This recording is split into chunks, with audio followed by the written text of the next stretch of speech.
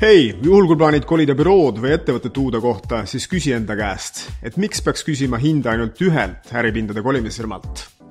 mine kolimisfirmad.ee koduleheküljele ning täida ära tasuta üks vorm. meie saadame sinu büroo järelpäringu laiali korraga mitmele kolijale. kolimisfirmad võtavad sinuga ise ühendust ning teevad sinu ettevõttele hinnapakkumisi seejärel vali välja endale kõige sobivam kolimispakkumine ning sul on võimalus säästa kuni nelikümmend protsenti oma büroo kolimisarvest hoiad kokku nii aega kui ka raha